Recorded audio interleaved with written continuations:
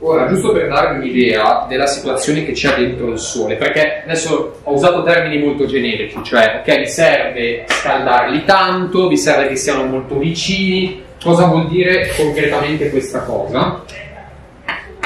Quant'è la temperatura del nucleo del Sole? 5.000. Quello è sulla superficie. 28, no. No, 28.000, no.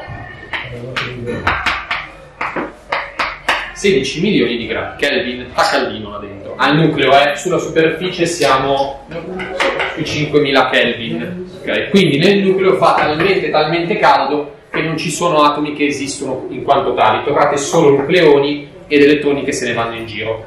E il Sole non è neanche così caldo, c'è di peggio in giro nell'universo, però comunque freddo non è.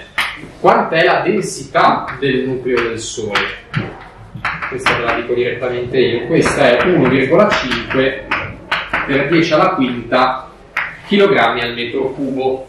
So che detto così non vuol dire niente, per cui prendiamo un termine di paragone. Qual è l'elemento più denso esistente sulla Terra?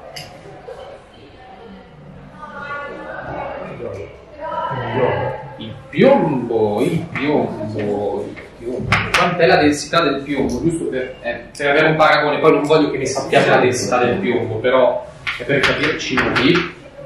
Il piombo è 1,1 per 10 alla quarta kg al metro cubo. Quindi il centro del Sole, anche se è fatto di nuclei di idrogeno e compagnia, è 10 volte più denso del piombo. ok? Quindi è una situazione veramente, veramente strana.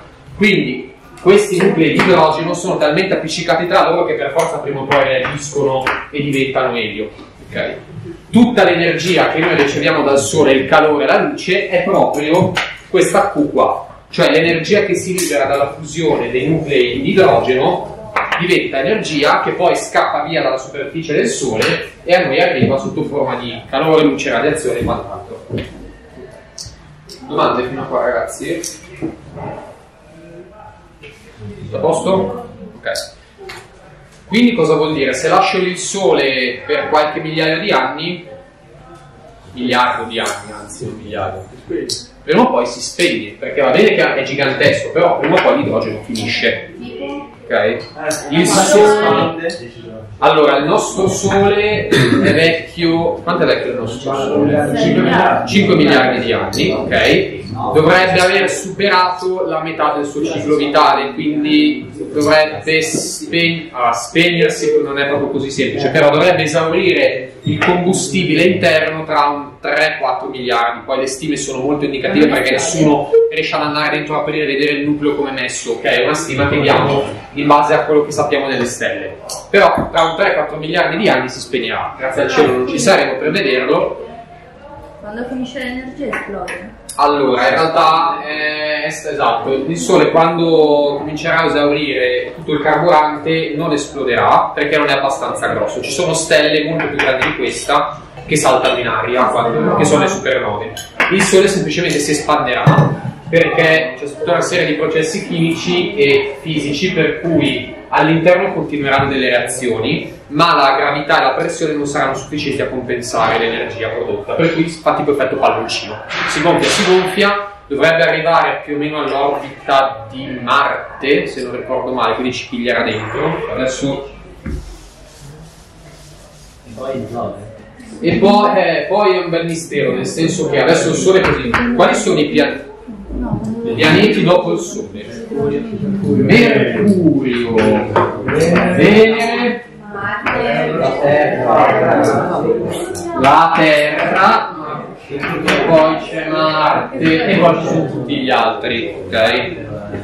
Marte non è prima di Venere, se no sapete che l'idea è, va bene, non abbiamo ancora colonizzato lo spazio, ma il primo obiettivo perlomeno dovrebbe essere arrivare su Marte. Su Marte possiamo avere qualche vaga idea di, di, poterci, di poterci stabilire perché non è così freddo ma non è così caldo, perché di notte su Marte andiamo sui meno...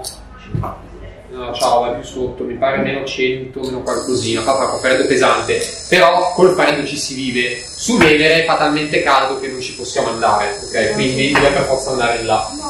Quindi se il Sole è così, quando esaurirà il combustibile, comincerà a espandersi, dovrebbe arrivare a una roba del genere, ci piglierà dentro. Dopo, molto probabilmente, si ridurrà ancora, anche lì non scoppia, diventerà una stellina molto molto piccola, molto molto fredda. E poi rimane lì. Finché non si diciamo un buco nero o qualcosa, non lo sappiamo come succederà. Poi non lo sappiamo cosa. Cioè, magari ci, digi- ci digitalizzano tutti tra cento anni, saremo lì ad ammirare la fine dell'universo. Esatto. Allora, ottima domanda, cioè, ok, ma com'è possibile che si è formato sto coso? Cioè, perché nello spazio a un certo punto c'è una palla di idrogeno che si forma lì. Sapete come si formano le stelle? Cosa? Sì, ma da dove saltano fuori? Cosa? Sì. Cioè, perché all'improvviso ci sono delle palle giganti incandescenti di idrogeno? Perché c'erano i nubi e poi cioè, casualmente si avvicinano. Ah, lo spazio è pieno zeppo di idrogeno, l'universo è pieno l'universo è idrogeno con un pizzico di altra roba, fondamentalmente è tutto idrogeno e è pieno di atomi di idrogeno che se ne vanno in giro da soli. Cosa succede? Se ce ne avete abbastanza vicini, questi piano piano cominciano ad attrarsi uno con l'altro. Perché? Eh, perché si attraggono? Esempio per la gravità. Ora, partite da quattro atomini, poi cominciate ad aggiungerne altri, pian piano si aggregano, si aggregano, si aggregano, alla fine cominciano a formare una cosa più grossa e pian piano si forma una stella. Allora, la- che senso?